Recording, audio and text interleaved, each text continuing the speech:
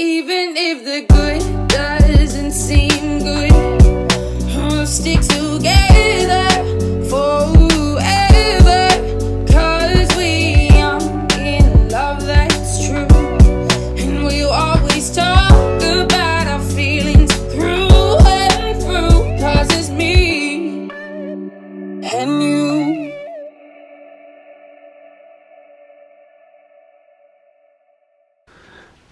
Good morning. Good morning.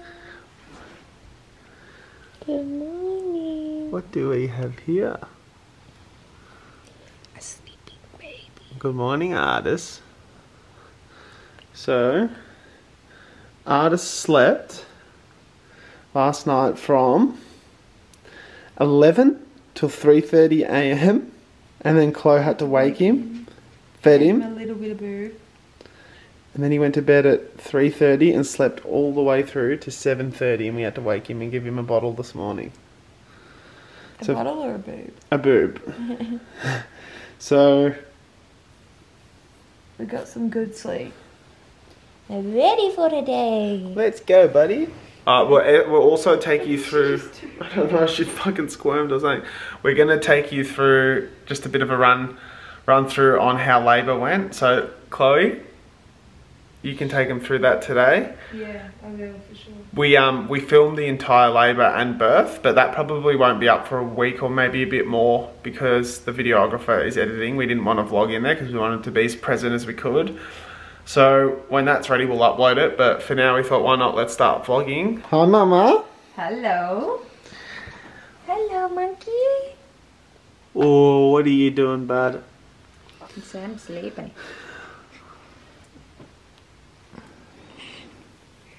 Put your head, Fred. Sorry, I know it's a bit annoying. He's been so amazing. You look. what a cute boy. I like your outfit, buddy. Alright, should we take him down? Yeah.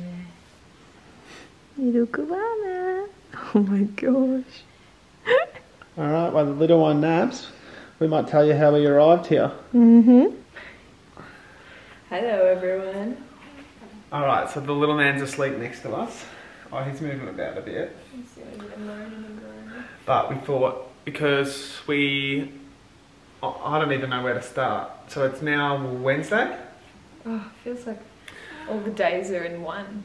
Chloe started her pre-labour at 2 a.m. on Friday. Yeah.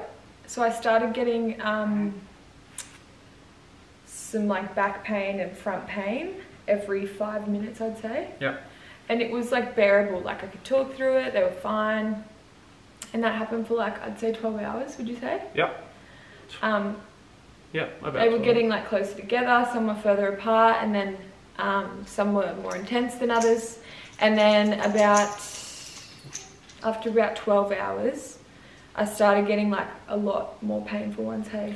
They were they spaced out a little bit, so they came maybe every six minutes or so. But every time they came, they were like a lot more than the other ones. The other ones were anywhere from like one and a half minutes to three minutes in between, but they were like bearable.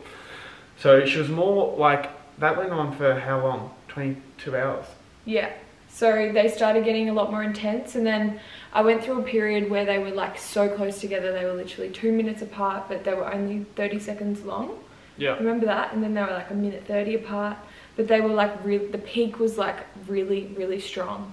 And then that's when did I, when did we call? Our midwife came over mm-hmm. at twelve o'clock Saturday night. Yeah. So twelve o'clock on Saturday night, our midwife came over because Was Chloe that, was yeah, I like started vomiting. And, she was in so like she had a posterior Yeah, he was posterior, so his head was on my tailbone and his back. He turned in the birth canal though, so he wasn't born posterior, but he was posterior when I was in labour, which is why it was so prolonged and So yeah, we'll start off by basically by the time our midwife got there. I keep saying our midwife, like she helped me. But by the time she got there, Chloe was really like going downhill. We were like in the shower, and she was like, "Oh my!" Like I had to massaged every part of her every time she went in, and then she started vomiting because she was in so much pain in the shower. Which that was actually the funniest story because I was leaned over her, pushing her pelvis, massaging it like that. So I was leaning over her back, and she was leaning forward on the ground, and she went.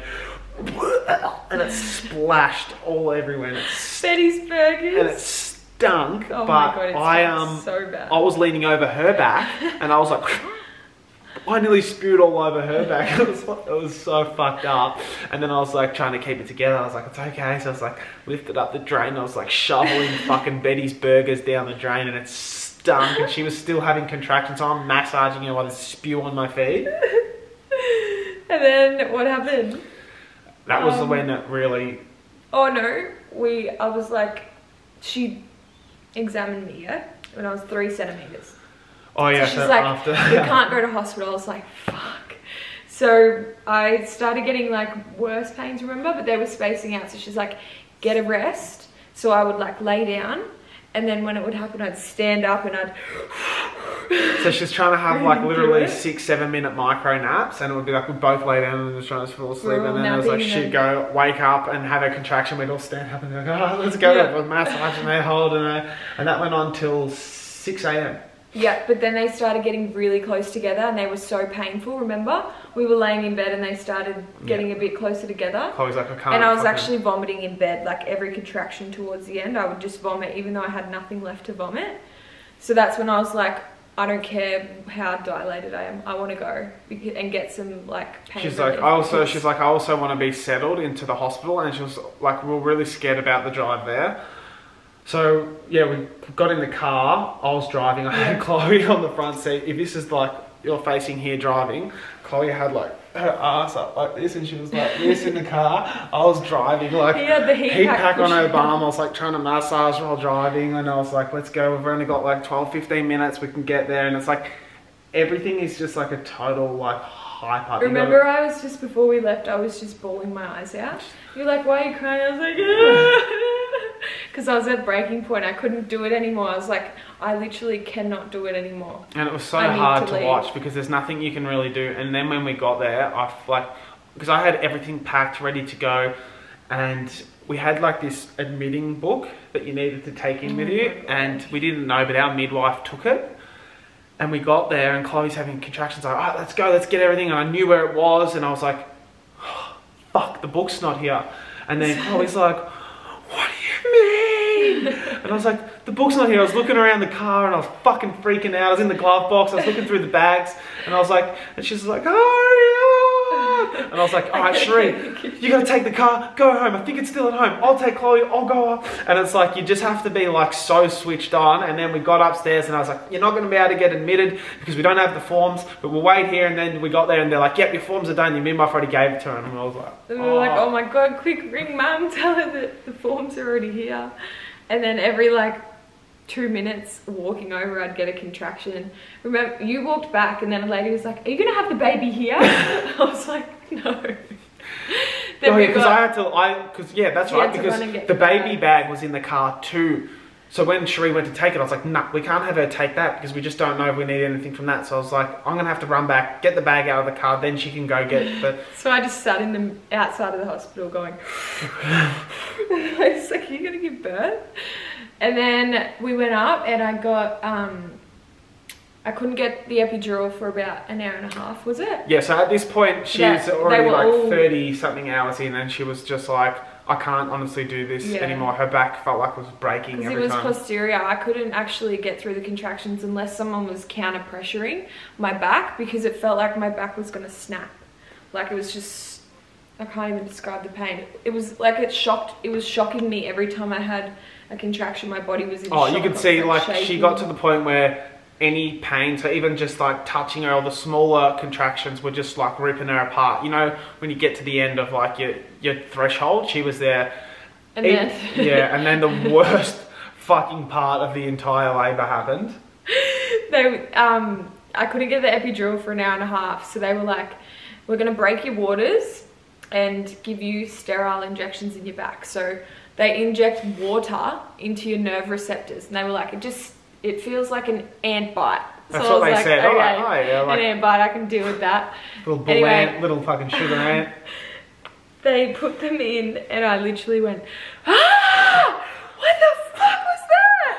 Like I nearly No, she- punched she- my midwife. I was standing in front of her holding her, just thinking, okay, little nice little ant bite, she should be fine. And she screamed, What the fuck was that? What the fuck did you do to me? And then they did because they had to do two and then two, and then she was just like, I was, I was in, I was actually almost going into And then shock. they did the second ones, and I was just like, like I was just crying because it was so painful. It was the saddest part of the entire labour, easily. They were so painful, and then but they really worked. Like they took the edge off for that hour, and I could get through the contractions. I could still feel the back pain, but it wasn't as like really sharp in my back.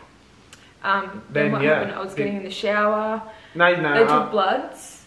after the sterile things, you didn't do anything. Oh yeah, you went back into the shower Yeah. until the anaesthetist came, and Yeah. then once he came, because once you get the epidural, you're not allowed to move around anymore. Yeah. So she had so that. I had the epidural. Um, that was fine. Like wasn't painful at all. The, even the needle for the anesthetic that was nothing because I just had the fucking sterile injection. And then um, got the epidural laid down, and I was like, it took the edge off. I could still feel everything. It wasn't a full block, and I could just top myself up if I needed extra pain relief. But yeah, she could still feel pressure and everything like that. I could still feel everything, um, which was good. That's what I wanted. I didn't want to go completely numb because then they would have had to forceps and vacuum, and I really didn't want to do that because oh, you're underselling yourself there with the pushing part. Like Oh. when we got to, so she was once she was ten centimeters dilated, everything happened really quick. yeah. So I was five centimeters when I got the epidural. Yeah. So she So was it took about eight hours for me to dilate to oh six. six. It was about six. Sorry, six. Six hours, and I started pushing at like three thirty. But I had pressure in my bottom for like four hours. I was like, his head's definitely down. I'm actually pooing myself. She was literally like, I don't know if it's a poo or a contraction. It's like I'd sneak around, Poor and, baby. I'd sneak around and look, and I was like, no, no, you're fine. And then like another 15 And then I'd like every contraction I'd start pushing and then just poo would come out. I checked around the thing at the side. I was like, no, no, you're, oh, yep, little cat shit hanging out. So gross. It's fucking, fu- it's part of like the experience. is like, do you want me to clean it up? And my midwife was like, no, I'll clean it up. you don't like think about stuff like that when you're in there. Like it's so pure the whole moment. You don't like, you don't look at it and be like, ew, that's gross, that's poo. It's like you just, I don't know. so then when he was coming, the pressure was so intense. I was like, I need to get up and go to the toilet. I just wanted to get up and move around. So that was the shit thing about the epidural is you just had to stay laying flat. So I was really uncomfortable wanting to like move, but it took the pain away. So And when she honestly, got to I needed that. I needed the rest. And then yeah, she, she got to ten centimeters after the six hours, and then we um the the control like the, the pushing started, and then what it was it, what's it called that you had? Oh, I had tachycardia, which is when your heart rate is really high. So I had that the whole when they were lab, um, monitoring me at the hospital the whole time. So I think did he have it? Yeah, you both he- did. That's both why Did. Yeah. because Chloe was in the middle of contractions, They maybe about in, fifteen minutes in, and then the because the, it's we only had we And the head at that point was going back up, back. not down, even back though up, you not not as much as you think it was, but that's what we were trying to encourage Chloe to do because Maria, which is our midwife, looked at me because the doctors come. The doctor only comes in when there's a problem because the midwife obviously wants to deliver it, and it's like we've, you got your plan, but the doctor came in and started So the doctors came in twice, remember? Yeah. They came in at the start and said your heart rate's too high. Like we don't think it's safe that you can be pushing with a high heart rate like that, and he will get distressed. So and then they came out and were like Maria was I like, was like, "Are you seriously coming in while I'm mid push?" And I, I actually think I said something to the lady. I was like, "I'm pushing. Like, what are you? yeah, what just are you doing?" you were like you were like what are you like? Can you just let me? I'm they still having really like distracted me in that I didn't want to stall because he was right there. And then when they came back the second time, they were like, "Hey," like, and then Chloe's like, like, they're like, "Hey, um, you know, I think we're gonna have what was it, the vacuum they wanted to use? Yeah, we want to do Did the forceps. forceps, and then Chloe's like, she's like, like, no. I'm gonna have like, I don't want to do that, and I'm about to have a contraction. She's like, okay, do your contraction, and then and then we'll come back in. Chloe just was like, And was at like, me, and I was like, you've got five fucking pushes, let's go. And like our midwife was like, come on, Chloe. And Chloe literally went beast mode, and she was just like, and she got the head out. So in those five pushes, the head come out, and then the doctor like looked at me. She's like, "Yep, she's got this." And the doctor's like, "Okay, we're gonna let you deliver it naturally." so she had literally five pushes to get the head out without intervention, and she did it. And we were like, I was like, looked and saw the head, and I was just like, "Yes!" And then the second, like, she's like, okay, don't push too hard because you're gonna push You shoot him across the wall.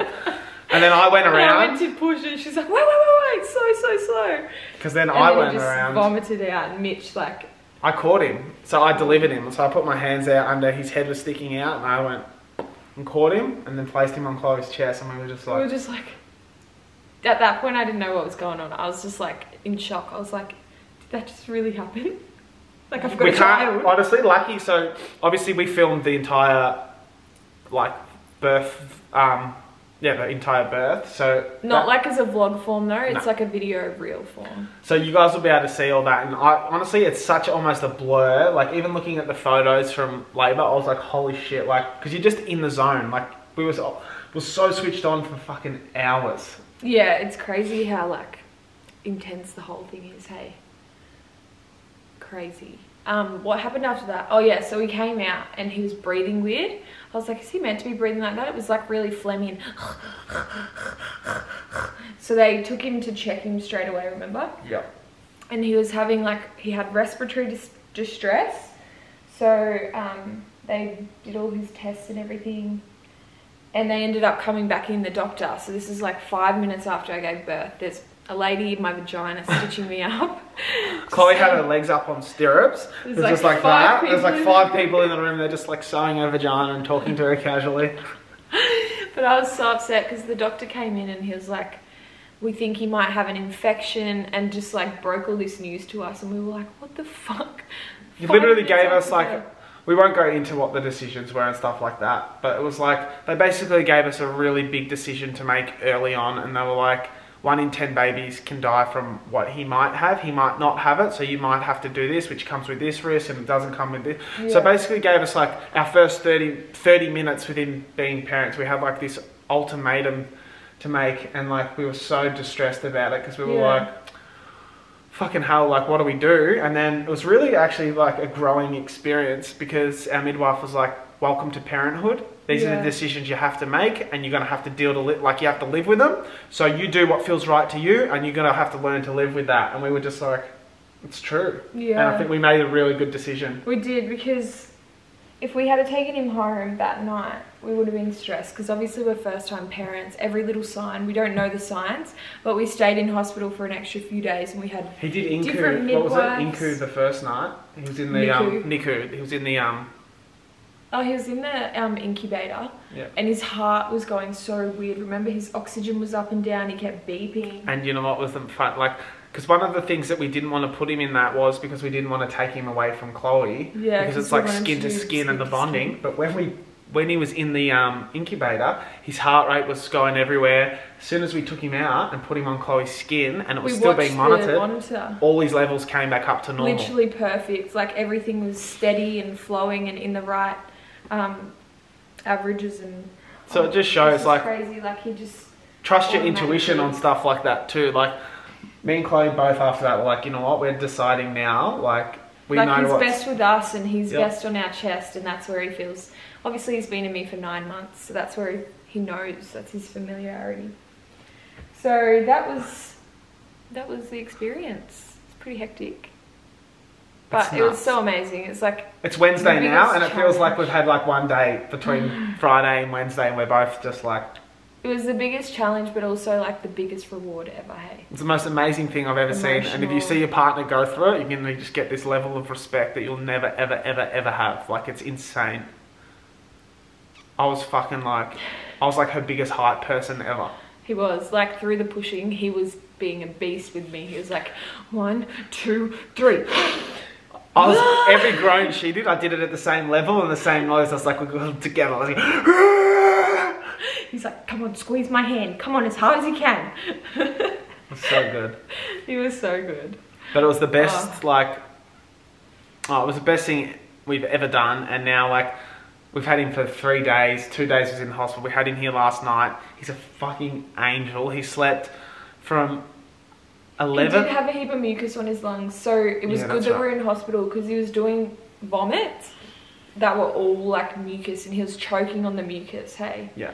I was so we had to watch him during the night. I was asleep on his second night and I heard a noise at like five o'clock and I went over and I just like something told it's so weird. This woke me up in the deep sleep. I heard this it's literally been as loud as that and it woke me up. It's like you just know. I went over and I picked him up and then he just started getting all this mucus out of his lungs and I turned to his side and I was like, fucking hell, like lucky this shit was happening here because Yeah, it was a bit scary, and it was good to get um, different midwives that were sh- clocking on.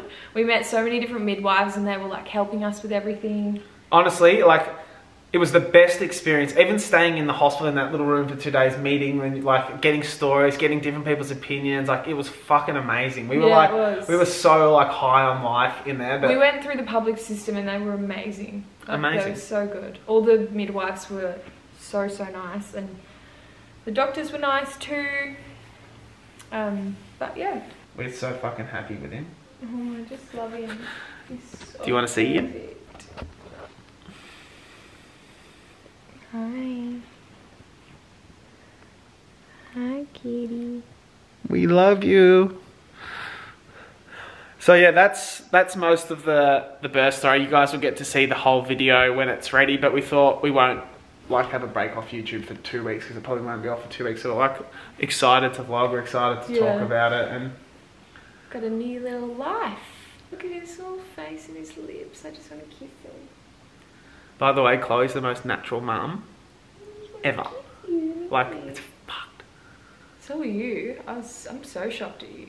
So I pretty much breastfeed, and then Mitch does most of the other stuff. So he'll change, and then he'll lay on Mitch's chest. Yeah, but it's like if you don't get that time in now, you won't. So like I want him to bond with me too. So whenever Chloe finishes breastfeeding, I grab him and just put him on my skin and let him rest for like hours. We were on the we were on the couch yesterday for four hours and he's just laying on me and I was so fucking happy. We're gonna be on the couch again today.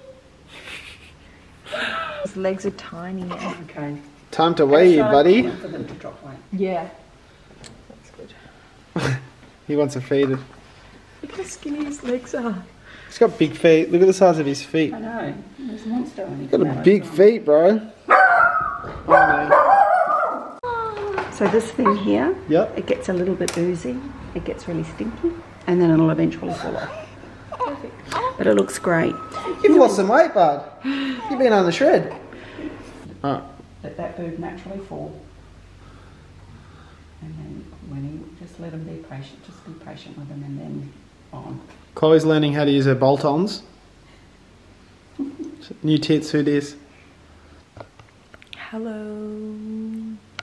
Should I show them my meal plan? Um, yeah, if you want to. I got an Ayurvedic meal plan, which is to help with the po- postpartum healing and producing milk and everything. So, I'm really excited about that. Molly just came over and bought cookies. Um, but we thought we would sign off on the vlog Are you now. gonna show them the meal plan? Um, nah. To be honest, it's Let's just tell a them meal about plan. it. It's just a meal plan. It's delicious though. Um, I'm gonna go have a bath with like sitz. It's like a herbal bath that will help with the Jesus healing. Christ, I was about to say, who the fuck sits? I'm down here cuddling that baby and she's upstairs having a bath with some bloke named Sits. it heals the stitches and stuff. So while he's all content, I just fed him. My boobs are like rock hard. Oh, you're making cute noises, but... But we will see you in our next video. Probably the guys. birth vlog, yeah. But yeah, probably. Birth. Or maybe another vlog. Thank you for watching. Don't forget to like and subscribe. Should we ask about what Yes, we should the- change the YouTube name to? Yes, alright, before you go, we have been discussing, because Chloe and Mitch is no longer, it's Chloe, Mitch and Artis. So our suggestion is, we like the Mac family. Mitchell, Artis, Chloe, the Mac family. But if you've got a better suggestion, leave it in the comments. And yes, please do. We, we, oh, I can't wait to see what people say. Same. Like we've been thinking about it like yesterday and we're like, ah, but I actually don't mind the Mac family. I reckon it sounds cute. There's the Orval family, but There's- Mitch's parents are like the They're the angry Orvals. dad family is like the Orval family. They already took that one. What about the Szeps? Well, we're not Szeps. He's an Orval. True. I'm gonna have to change my last name to Chloe Orval. Wow, it's an identity shift. Alright, leave suggestions in the comments.